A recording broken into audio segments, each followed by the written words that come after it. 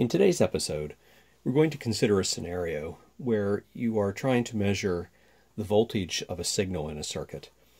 But the, the signal is, is an audio frequency or maybe even a radio frequency signal. So you think, well, I'll just grab my multimeter and make a measurement, and that will be that. So sometimes you can do that and you get the measurement that you were expecting and you never question it. But sometimes when you do that, you get a measurement that you weren't expecting. And you think, well, that's great. It's not what I was expecting. Something's wrong. Now I've got to go figure out what's wrong. Whenever you come up against these situations, it's always important to stop and think and consider what might be wrong with the picture. Lots of things could be wrong with the picture. And what we're going to talk about today has to do with the frequency range over which AC voltmeters actually produce accurate measurements. In general, uh, for any meter, there's a range in which the readings are going to be accurate in terms of different frequencies. Then there'll be areas outside that range where you have reduced accuracy, and then finally, total lack of accuracy.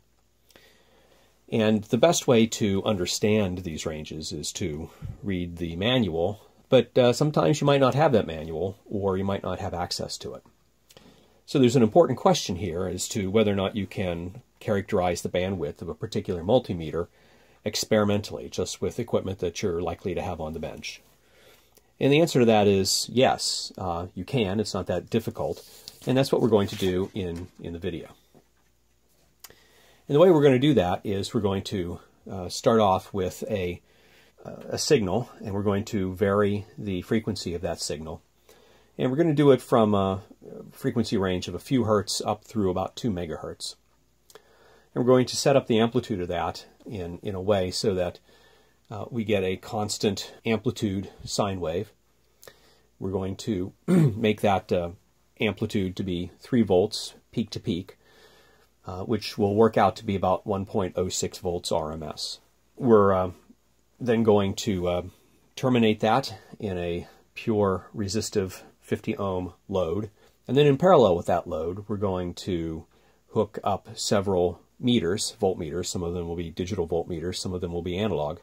And we're uh, also going to uh, have a frequency counter and an oscilloscope in the circuit just so that we can um, understand that signal and make sure that it's, it's, it's uh, maintaining a constant amplitude as we change the frequency. There are three uh, general types of meters that we're going to look at. First, uh, we're going to look at three kind of modern contemporary meters, two Amprobe meters and a BK Precision. Then we're going to look at a couple of older meters, uh, a Tektronix and an old Fluke, that uh, came out of uh, uh, kind of the time range of 1970s to 1980s vintage. And then we're going to look at two analog meters, a vacuum tube voltmeter and a VOM and these were on the market, or these were marketed uh, anywhere from kind of the 1950s to 1960s time frame. So here's a, a, picture of our signal on, on an oscilloscope, and the frequency of this sine wave is 60 hertz. Got it coming out of a function generator, and I know from the frequency counter that uh, that it's attached to it that it's at uh, 60 hertz. And so what I'm going to do is first of all point out that uh, each graticule is uh, 0.5 volts.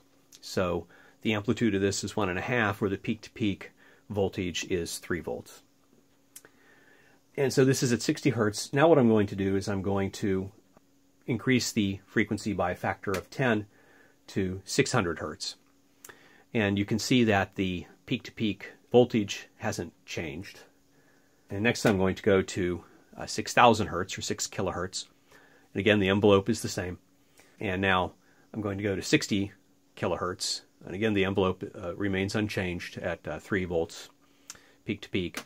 And then finally at 600 kilohertz. And then lastly, I'm going to go up to 2 megahertz, which I'm doing right now.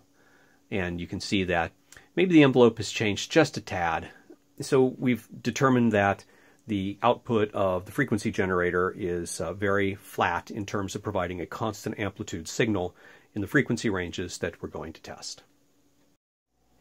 Here are the five digital multimeters that we're going to test. We'll do the VOM and the VTVM uh, right after we consider the digital multimeters. At 60 hertz, you can see uh, all the DMMs are in very, very good agreement. With one another and very close to the expected 1.06 volts uh, RMS reading. As I go up from 60 hertz to 600 hertz, again, all the, the meters are in, in very good agreement and are giving accurate readings. But when we go to 6,000 hertz or 6 kilohertz, you can see that uh, the three of the meters uh, are beginning to change and, and show inaccurate readings. So on the right here you have the uh, the old Fluke 8010A. It still uh, is giving a, a, very very accurate uh, reading. And then uh, on the far left, the red meter 1.06 volts is the Amprobe AM160A. But the Model 57 just to its right, the BK Precision there, the blue and white meter, and then the Tektronix uh, meter are all showing you know, pretty inaccurate uh, readings at this point. If I go up to 60 kilohertz, the situation just gets worse. While the uh, meter on the left, the Amprobe AM160, is uh, still holding in there, all the rest of the meters have changed. The Model 570, the BK Precision, and the Tektronix are, are all now uh, pretty highly inaccurate and the uh, fluke is just beginning to change uh, uh, a little bit. As I go up to 600 kilohertz now, Uh, all the meters are uh, showing uh, showing changes. The fluke is falling down. The uh, other meters are all changing readings, and even the Amprobe AM160 is showing uh, some in inaccuracies. it's now reading 0.94 volts. looking at the VOM and the VTVM, uh, what we're going to see is as we change the frequencies, we're going to see a lot of, of differences uh, compared to the digital multimeters. At 60 hertz, uh, you can see the vacuum tube voltmeter actually reads 1.06 volts RMS, which is remarkable that it's that accurate. And, and in fact, it's, uh, it's probably an accident that it's, it's calibrated that well on this particular scale. The VOM is reading about 0.8 volts uh, RMS. Uh, VOMs are not noted for their great accuracy, particularly this model. That's what we have at 60 hertz. As we go up to 600 hertz now, neither meter really changes very much or changes absolutely in, in a negligible way. What we're going to see is as we uh, increase the frequency by another factor of 10 to 6 kilohertz, again, nothing changes. The vacuum tube voltmeter might be up to just shy of 1.08 volts. As we go to 60 kilohertz, we see very little change. And as we go to 600 kilohertz, again, we see very little change.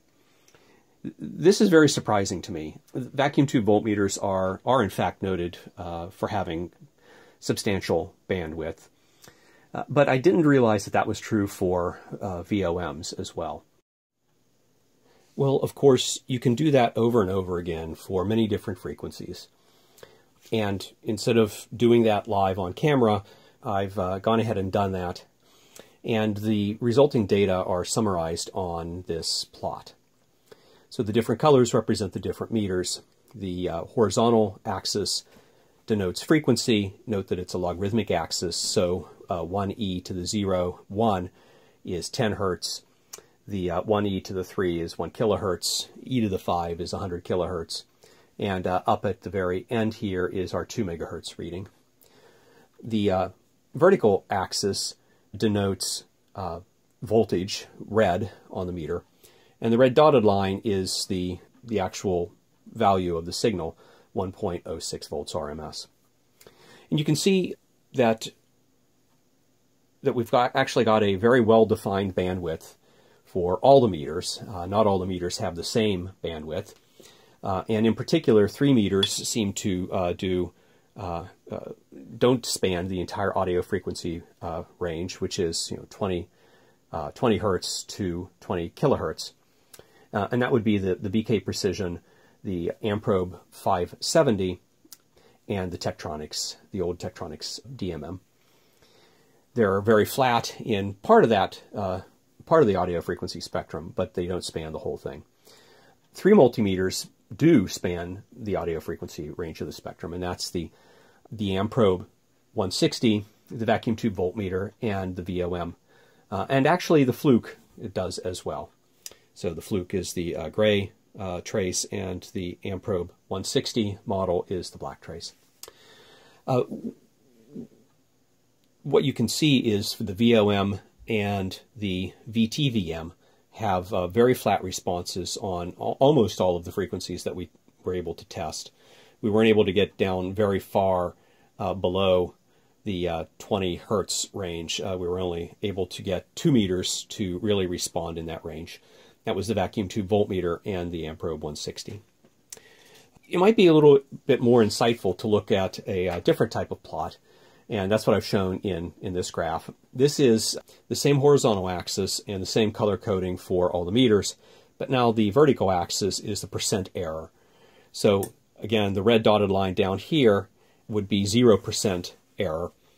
And you can see that now that, uh, you know, below, below um, 20 kilohertz or so, that uh, the meters I was able to get readings on uh, have substantial error, 10 to 20% error. It's very, very, uh, very little error until you get uh, towards the edge of the bands for the, the, the, different meters, and then you incur 10, 20, 30% error. Uh, and by the time you get up to 2 megahertz, you know, all, all of them have, have very poor error, except for the VOM and the vacuum tube voltmeter. So a very reasonable question to ask at this point is, well, okay, you have different design specs for different meters. Are our readings consistent with those design specs? And the answer to that question is yes, uh, for, for all of the meters that I could get the design specs for.